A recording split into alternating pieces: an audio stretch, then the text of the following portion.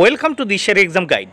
প্রিয় একাদশ শ্রেণির শিক্ষার্থী বন্ধুরা, তোমাদের জন্য এই ভিডিওটি। এই ভিডিওটিতে আমি আলোচনা করতে চলেছি ক্লাস ইলেভেনের political science suggestion two thousand twenty three. অর্থাৎ একাদশ শ্রেণির রাষ্ট্রবিজ্ঞান সাজেশান দু হাজার তেইশ এর ভিডিও নিয়ে আমি তোমাদের সামনে চলে এসেছি। তাই অবশ্যই অবশ্যই কিন্তু এই ভিডিওটি তোমাদের দেখতেই হবে। কারণ এই ভিডিওতে যে কোশ্চেনগুলো নিয়ে আমি আলোচনা করছি, সেই কোশ্চেনগুলো তোমরা পড়লে একাদশ শ্রেণির যে ফাইনাল পরীক্ষা হবে, সেই ফাইনাল পরীক্ষাতে তোমরা হান্ড্রেড পারসেন্ট কমন পেয়ে যাবে।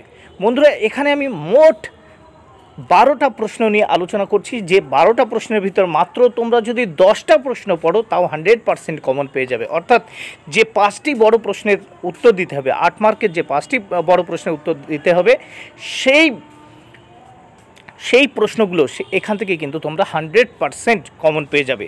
তাই দ্বিধা না করে সারা বছর ধরে এই প্রশ্নগুলো ভালো করে মুখস্থ করে নাও। পারলে এই বারোটি প্রশ্নই তোমরা মুখস্থ করে নেবে। এক নাম্বার প্রশ্ন ভেরি ভেরি ইম্পর্ট্যান্ট বন্ধুরা, দশটি প্রশ্নতে তিনটে স্টার দেওয়া আছে। যে প্রশ্নগুলো কিন্তু অত্যন্ত গুরুত্বপূর্ণ। প্রথম প্রশ্ন, তুমি কি মনে করো রাষ্ট্রবিজ্ঞান একটি বিজ্ঞান? তোমার উত্তরের সপক্ষে যুক্তি দাও। দুই নম্বর প্রশ্ন, রাষ্ট্রবিজ্ঞানের রাষ্ট্রকেন্দ্রিক ও রাষ্ট্রনিরপেক্ষ সংজ্ঞাগুলি আলোচনা করো। তিন নম্বর প্রশ্ন, রাষ্ট্রের উৎপত্তি বিষয়ে ঐশ্বরিক মতবাদ, সমালোচনা সহ আলোচনা করো। চার নম্বর প্রশ্ন সুপরিবর্তনীয় ও দুষ্পরিবর্তনীয় সংবিধানের মধ্যে পার্থক্য আলোচনা করো। ভেরি ভেরি ইম্পর্ট্যান্ট প্রশ্ন। তারপরের প্রশ্ন দেখে নাও। পাঁচ নম্বর প্রশ্ন, অলিখিত সংবিধান কি? অলিখিত সংবিধানের গুণাবলী ও ত্রুটিগুলি আলোচনা করো। ছয় নম্বর প্রশ্ন, রাষ্ট্র ও অন্যান্য প্রতিষ্ঠানের মধ্যে পার্থক্যগুলি আলোচনা করো। সাত নম্বর প্রশ্ন, রাষ্ট্রপতি শাসিত ও সংসদীয় সরকারের মধ্যে পার্থক্য নিরূপণ করো। সাত নম্বর প্রশ্ন ভেরি ভেরি ইম্পর্ট্যান্ট তিনটে করে স্টার দেওয়া প্রশ্নগুলো কিন্তু ভেরি ভেরি ইম্পর্ট্যান্ট আর এই রকম প্রশ্ন দিয়েছি আমি মাত্র দশটি।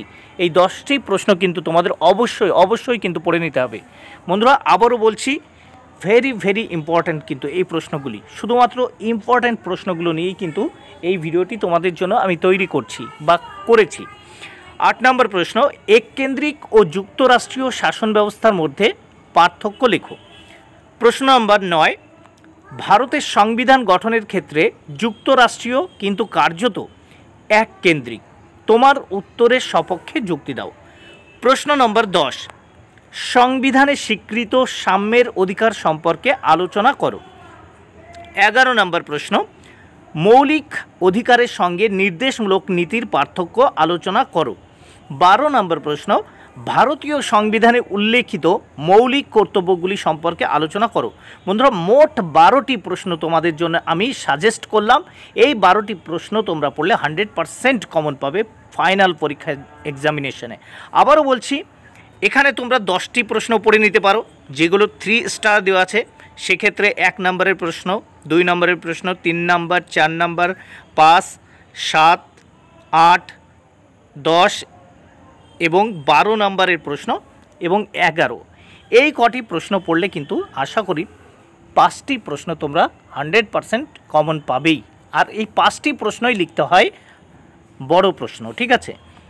তাহলে এখানে শেষ করছি। বন্ধুরা, ভিডিওটি ভালো লাগলে অবশ্যই লাইক কমেন্ট ও শেয়ার করো। Thank you very much keep watching my channel and my video